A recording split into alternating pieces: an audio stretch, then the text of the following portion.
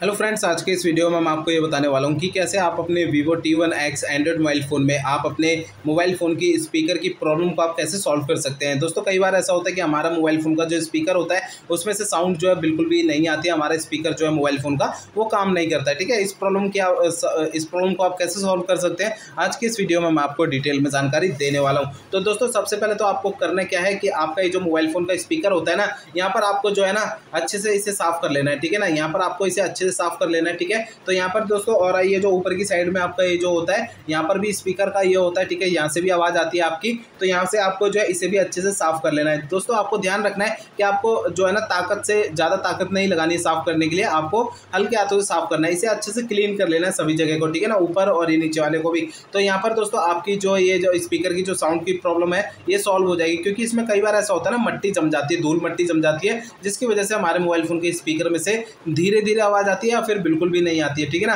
तो दोस्तों, आपको सबसे पहला प्रोसेस तो ये कर लेना है। फिर इसके बाद आपको अगला प्रोसेस करना क्या है कि आपको अपने मोबाइल फ़ोन को एक बार जो है री स्टार्ट करना है, ठीक है? री स्टार्ट कैसे करेंगे? देखिए मोबाइल फ़ोन के साइड में ये जो पावर बटन होता है पावर बटन को आपको उंगली से दबा के रखना है तो आपकी स्क्रीन के सामने ना एक पेज आएगा, ठीक है? इस तरीके का। इसमें देखिए, आपको री स्टार्ट का ये ऑप्शन मिल जाता है री स्टार्ट पे आपको टैप करना है। इससे क्या होगा कि आपका मोबाइल फ़ोन जो है ऑटोमेटिक स्विच ऑफ़ हो जाएगा, फिर इसके बाद ऑटोमेटिक स्विच ऑन हो जाएगा। रीस्टार्ट करने से क्या होता है दोस्तों कि आपके मोबाइल फ़ोन के एंड्रॉइड सिस्टम में कोई कमी आ जाती है तो वो कमी जो है रिस्टार्ट करने से दूर हो जाती है। जैसे कि क्या हमारा मोबाइल फ़ोन हैंग करता है कॉल की दिक्कत आती है स्पीकर की दिक्कत आती है स्पीकर ठीक से काम नहीं करता।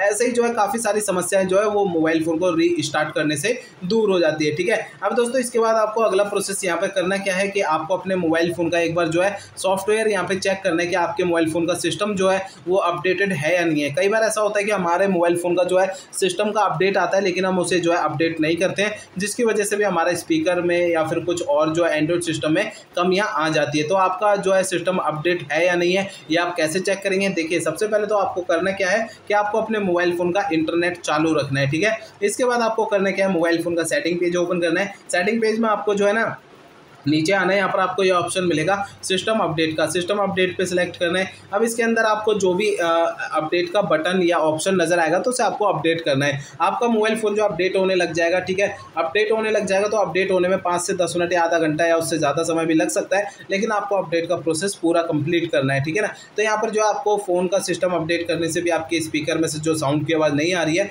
वो आपकी सॉल्व हो जाएगी, ठीक है? ये प्रॉब्लम जो है वो सॉल्व हो जाएगी। अब दोस्तों, यहाँ पर आपको करना क्या है कि आपके मोबाइल फ़ोन में यहाँ पर ये जो है ना यहाँ पर ये जो आ, सेटिंग का पेज ओपन करिए। सेटिंग के पेज में आपको जो है ना सबसे ऊपर ये सर्च आइकन का ऑप्शन मिलता है ठीक है? इसे सिलेक्ट करना है। अब यहाँ पर आपको जो है ना एक बार जो है माइक्रोफोन यहाँ पर आपको टाइप करना है ठीक है? इस तरीके से।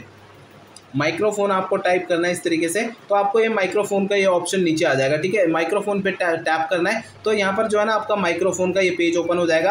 अब दोस्तों, यहाँ पर आपके जितने भी ऐप्स है ना, ये जो ऐप्स है या फिर जो भी आपको दिखाई दे रहे हैं, ये आपके नीचे की कैटेगरी में आपको नॉट अलाउड की कैटेगरी में आपके काफ़ी सारे ऐप्स होंगे। इन सभी को आपको ना अलाउ कर लेना है। एक एक करके इस तरीके से आपको अलाउ कर लेना है, ठीक है? तो इन सभी को आपको अलाउ करना ऊपर की कैटेगरी में आपके आ जाने चाहिए, ठीक है ना? तो यहाँ पर आपको जो है ना इन सभी को अलाउ कर लेना है, ठीक है ना? तो यहाँ पर पर दोस्तों आपको अगला प्रोसेस यहाँ पे करना है क्या? है इसके बाद कि यहाँ पर जो है आपको अपने मोबाइल फ़ोन को एक बार रीसेट करना है। रीसेट कैसे करेंगे?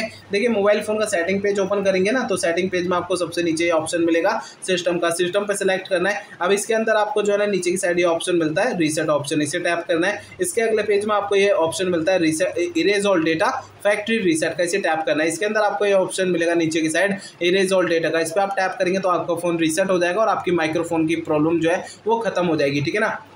स्पीकर की जो प्रॉब्लम है वो आपकी खत्म हो जाएगी।